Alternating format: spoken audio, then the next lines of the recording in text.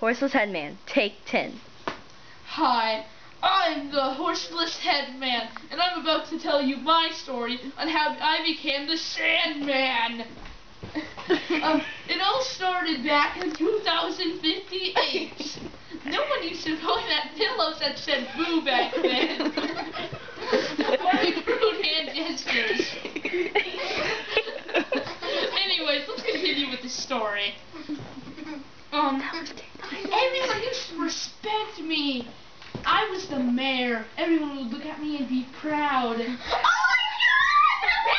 I could That's too proud. But then they started calling me. Ah, the horseless headman,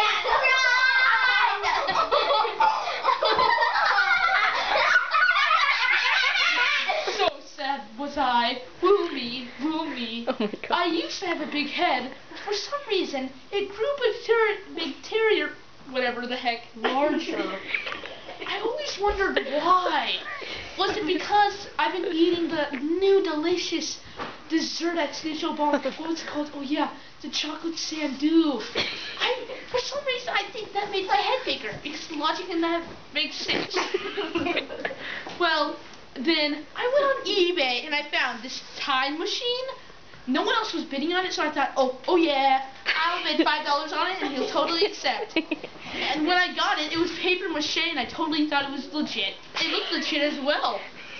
So I started touching the drawn-on um, buttons on it, and it started working. But oh no, I accidentally wrote down a million years. Oh, woe is me, but I shall continue on with my story. Next, what happened was